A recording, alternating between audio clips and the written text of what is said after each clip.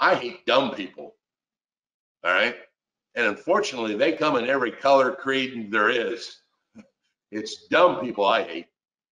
All right. And damn it, that's not a protected class. So we can discriminate against dumb people all the time. I've actually told people before when they've asked me questions, I tell, you know, I'm actually dumber for hearing that. I've wasted my time. Raymond, So, sure. Do you think that with the ever-changing way of um how people are viewing like sex and um sexual orientation now that this is going to change even more so within the next couple of years because now we have further extended our male to female past that. It's just, you know, something else going on right now. So I don't want to be in old grumpy man answer to that, or you want the teacher's answer to that? I want Um, the real answer to it. Answer, If, Lord only, if the government would call me to get the real answers, I could solve the, all these problems. But my educated, real answer guess is, yes, they will. They will have to do something because of the populist trending towards X, you know, male, female, X, even the driver's license now allows you to do this. All right. Um, the National Association of Realtors says as a guideline, you should not discriminate based on orientation or preference. Even though it's technically not a protected class under the federal, they mean male and female. Now, the problem that you're running into is this, that Housing and Community Development Act defined the segregation or the discrimination as male and female. So now here's my question back to you. The law says male and female. If somebody now says, well, I, I'm neither, or I'm both, okay, then you're not protected because the law only protects male and female. And you're telling me you're neither one? I'm going to discriminate against you then.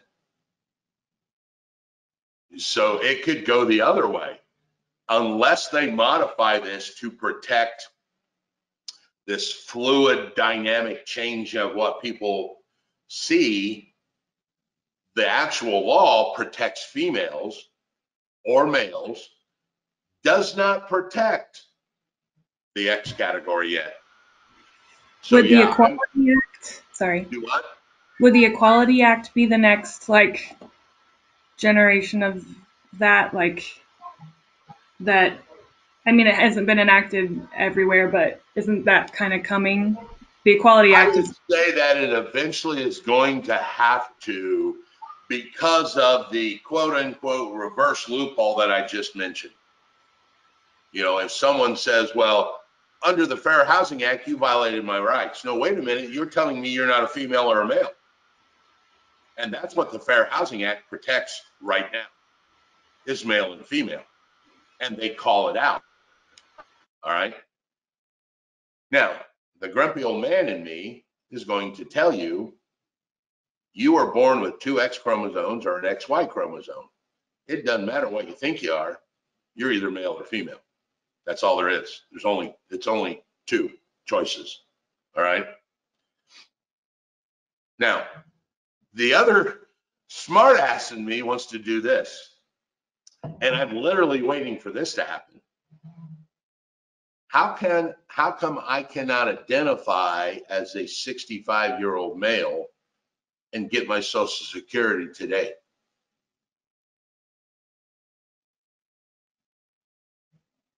All right. We are allowing all this other to go on. Okay, then I want to change my age and I want social security because even though I'm only 57, I feel 65 and I identify as 65 and I hang out with guys that are 65. So I identify as a 65 year old. I should qualify for social security. Or let's go the other way. I want to identify as a 14 year old female and go into the locker room. I mean, you see problems that could come up with that. And we could spend a whole hour talking about that and how I just like to stir trouble. Because if we are allowing one gender to say they are the other gender and they identify and they get protected and they should be treated like that other gender, then why can't we do it with age? Why can't we do it with any other thing? Well, maybe not everybody shares my opinion on that then. So I still think the social security thing would be cool. I want my social security. I'm, I'm 65. So that is the advertising component. And once again, Jaman, we go back to this whole thing about, we all understand the warm and fuzzy of what the Fair Housing Act is. Don't discriminate, just do the right thing. But really the rule says there's no way to do the right thing. All right. Now, appraising over on the next page, basically all of these fit in the same category. You can't appraise a property and give it a different value based on one of the seven protected classes. You couldn't say something like, well, this house, if it were in the Jewish neighborhood, it would be worth more, but in this neighborhood, it's only worth X. That is using a protected class as a basis for the appraising the property. Redlining.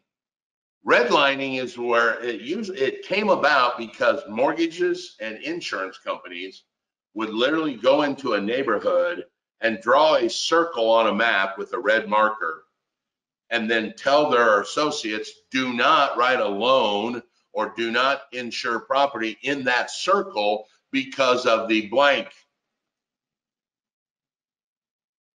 They would redline a circle around an area geographically and then tell people not to do things in there. Don't write insurance policies. Don't give mortgages. All right. Now, the mortgage industry has this thing called reverse redlining. Reverse redlining is where they would do the same thing, take a map, draw a circle around it, and then intentionally target the people inside of there with high interest rate loans, high cost loans, because, oh, those people have no choice. So they'll take this loan. That's called reverse redlining. That's also a violation in the mortgage industry. Same thing, only one excludes people in that circle. The other targets those people.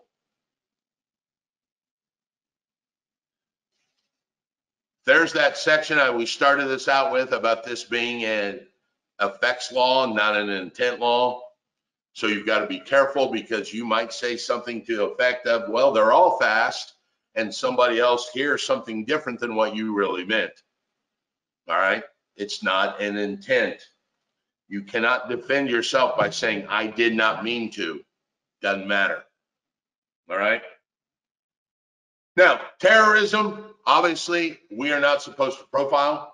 The government profiles, the TSA does. You guys, you guys know who Harold and Kumar are?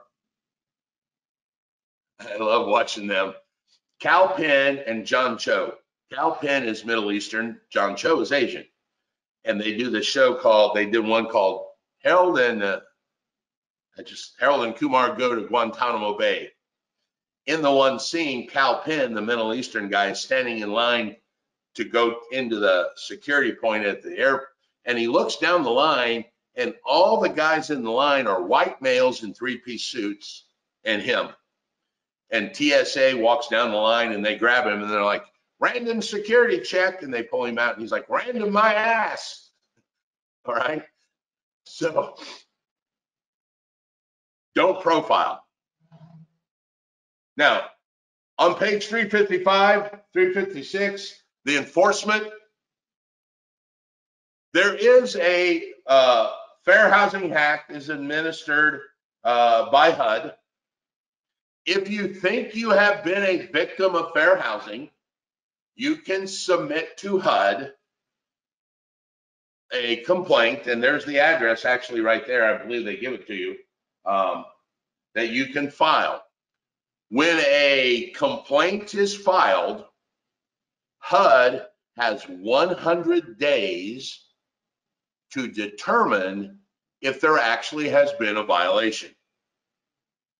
If they believe there has been a violation, they will go to the parties and the first thing they try is this thing called conciliation. Conciliation, if you know the Latin, conciliate means to apologize or agree or so literally what they're going to try and do first is bring the two parties together and say, look, tell me you didn't intentionally discriminate on this guy.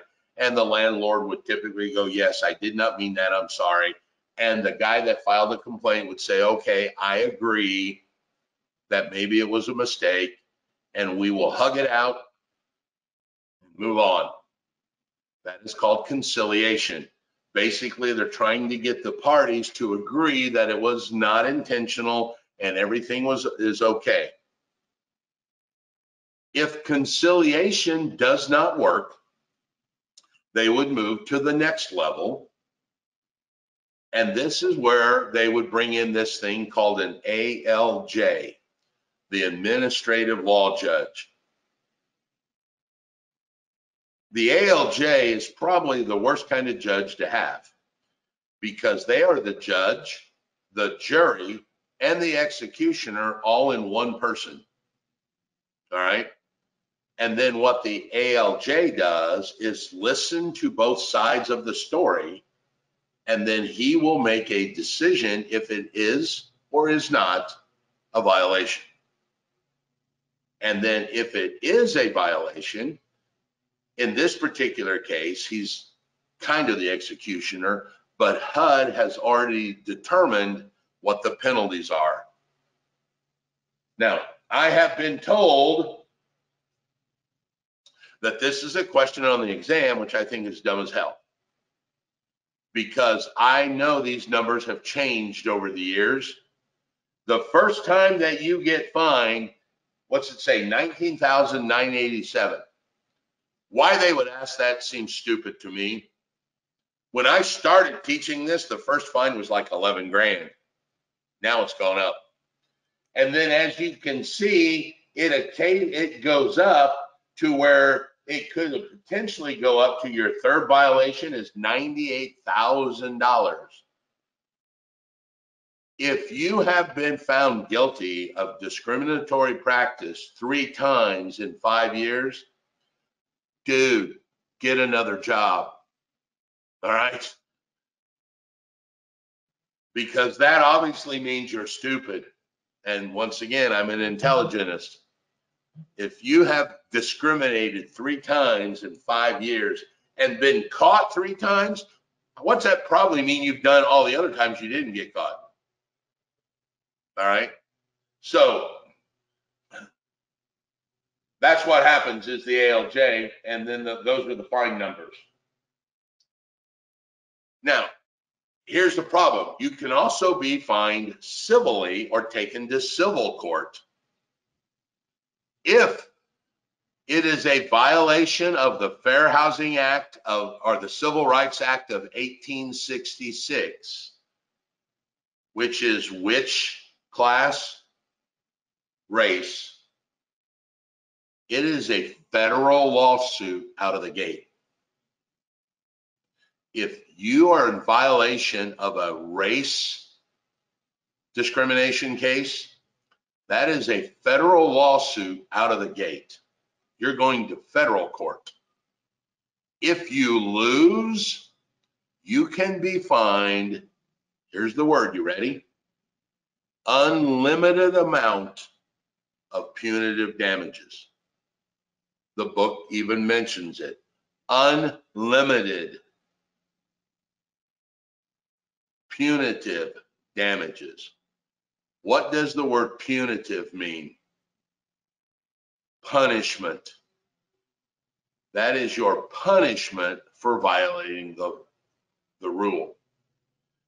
Theoretically, you could be sued for a hundred million dollars because it's an unlimited amount.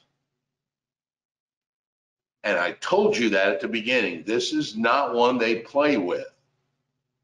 your first violation, if it happened to be a race violation, could go to federal court and be fined punitively a hundred million, unlimited damages. How does one come up off a hundred million if they get sued if they don't have a hundred million? How does that? I don't know. Never been fined a hundred million. Day ain't over. I would assume now, some errors and omissions insurance policies cover discrimination cases, some do not. You got to know what your carrier is carrying. Um, they probably have a max on your policy. So my assumption would be you would be making some kind of compensatory payment for the rest of your life. Hmm. All right. You would probably be making a quote unquote house payment towards a hundred million the rest of your life. I don't know. I'm not a practicing attorney. Um, I wonder if, I wonder if you can file bankruptcy and declare that as a debt. I don't know that. There are some debts you can't declare in bankruptcy, student loans, for example. You file bankruptcy, student loans can't go into a bankruptcy. You maintain those even after you file bankruptcy and it's discharged. I wonder if court awardings would be similar. Otherwise, Cameron, the answer would be just file bankruptcy and, and discharge it if you can. I don't know. I'll look that up. That's a good thing. Curious minds want thinking. I'm gonna look that up. Hold on. I wrote that down. I want to look that up for you. Now, some states have a state agency. Indiana's one of them. We have an Indiana Department of Housing, all right? So if you feel you've been aggrieved and you file a claim with HUD, HUD will kick it back down to the state of Indiana and let Indiana handle it first. And it's the same kind of penalties. They still have a conciliatory uh, meeting. They could go to the ALJ. They just let the states handle it before the feds get to it. All right. Now, on the last page there, what's this mean for you? Well, we have kind of touched on this several times. What this means for you is you could have lose your way of earning a career because of this. You could actually lose your license. On top of getting sued for a hundred million, the real estate commission could actually take your license for that.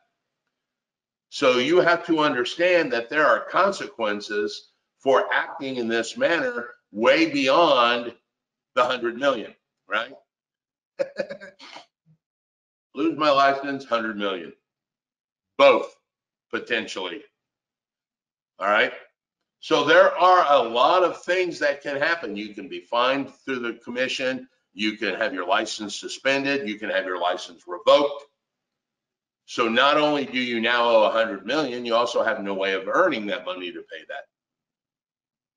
So they do not kid with this law.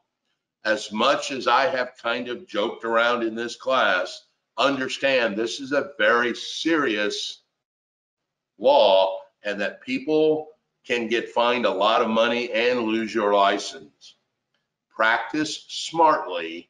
And like I say, treat everybody the same and only go for green. If you got money, I don't care if you're a Martian that's seven foot tall, you're my client. All right? See, everybody thinks Martians are little green men. They're actually seven foot tall. That's my guess.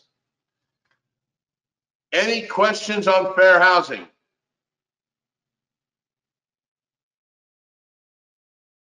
Alrighty then. Going once, going twice.